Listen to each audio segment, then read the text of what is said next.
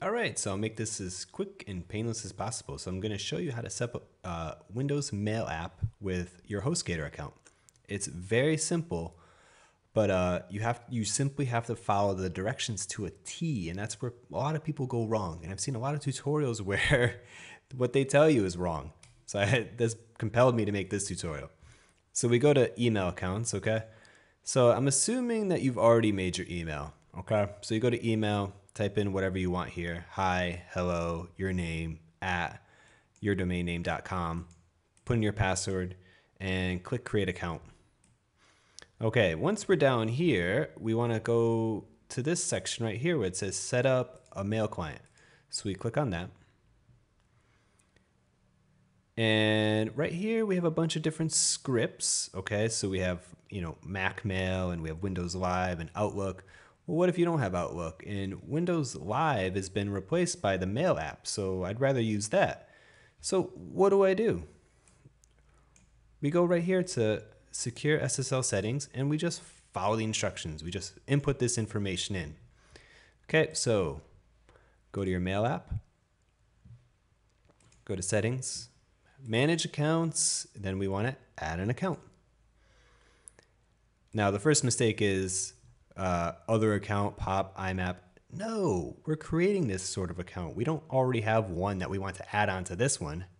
So you go to advanced setup. Then you go to internet email, pop or IMAP. Okay, email address. Email address is the email for your website. So in, for me, it's hello at create a website wp.com. Now the username. The username, like the examples here, wrong. It's not just whatever you want it to be. Okay, username. Put this in. This is your username. It specifically tells you what to put in. If you put in anything else, it won't work. So put in paste. Okay. Now for your password. Again, you cannot put in whatever you want. Your password should be use the email account's password. Okay, I can do that. Account name.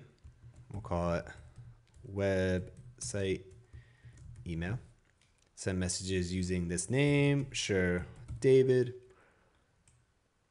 Incoming email server. Okay, incoming email server. Highlights.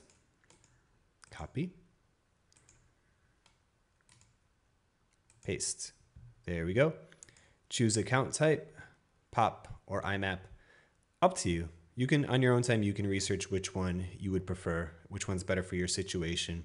Pop basically downloads the emails. Imap allows you to sync multiple devices. Um, i usually go with imap okay outgoing server.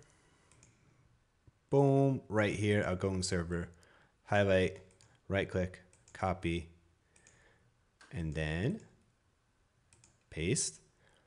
We've everything checked. I don't know why people would ever tell you to uncheck this. You want your email, your incoming and your outgoing email to be secure. You want it to be encrypted, so leave it. Click and sign, sign in.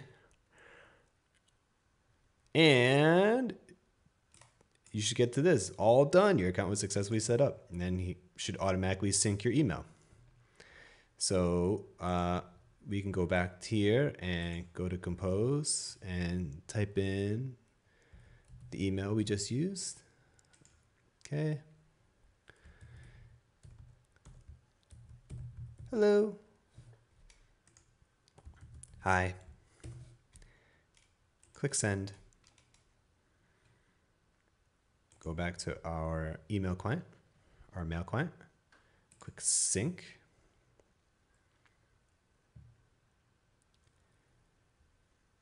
And there we go. It's working. So then we can reply to the email. And that is it.